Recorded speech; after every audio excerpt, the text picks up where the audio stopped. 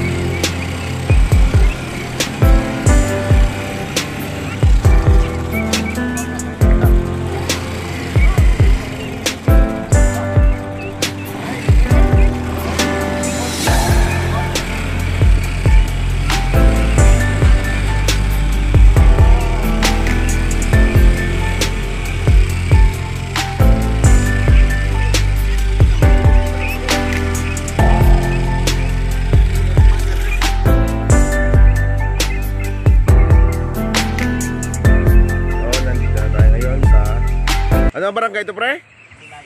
Bulay? Bulay Maasin. Bulay Maasin. Tingnan natin yung daan. Yan, pataas. Marami pang tubo. Lima, lima lang ko no?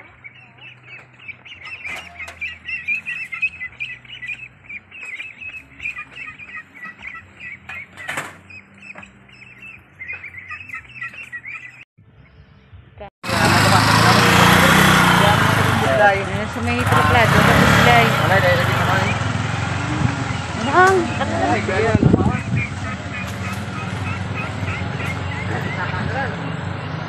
Ay. Saka, na. Oh. Na. Thank you kita. Ah, sige na, thank you, Gid. Ah, sige, thank you, Gid. Ay, sa kadaan ano. Adventure na naman. Araw.